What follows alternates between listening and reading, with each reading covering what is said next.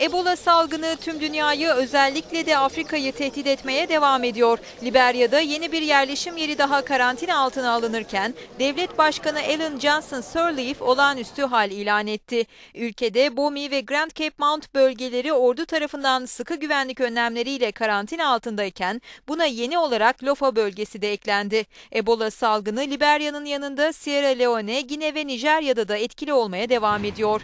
Batı Afrika'da alınan güvenlik önlemleri hafta sonunda daha da sıkılaştırıldı. Diğer yandan bugün İsviçre'de bir araya gelen Dünya Sağlık Örgütü yetkilileri Ebola ile mücadelede deneysel tedavilerin kullanılıp kullanılmamasını tartıştı.